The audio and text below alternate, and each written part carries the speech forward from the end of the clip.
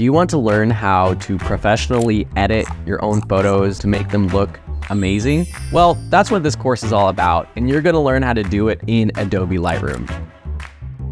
Two reasons why you want to join this class is that it's a two-in-one course. We cover both Lightroom Classic and Lightroom CC with complete tutorials in this class. If you don't know the difference between those apps, there's a lesson that you can watch a free preview of coming up to understand the difference. Regardless, we cover both apps in this class, so you don't have to purchase separate classes. And the second reason is that you get lifetime access to this class and I update it. So whenever Lightroom adds features or makes changes or updates, I'll cover them. So you don't have to worry about finding another class that's updated. I'll be covering everything right here in the future. And I'll throw in one bonus reason to join this class. We have an exclusive community of student photographers with other photographers just like you learning tools like Lightroom. And as a member of this class, you get access to that community where it's a safe space to ask questions, post photos for critique or comment. And it's really one of the favorite things that students say about my courses, being a part of our Photography and Friends community. But beyond that, you're going to learn how to edit amazing photos. We start with importing and staying organized, which is so important. Basic edits like crop, color, exposure. We go over masking and advanced selective edits to really make your photos pop. Beyond just editing photos, we cover advanced workflow tips so that you can be fast and efficient as a photo editor. We cover editing every kind of photo from landscapes and travel photos to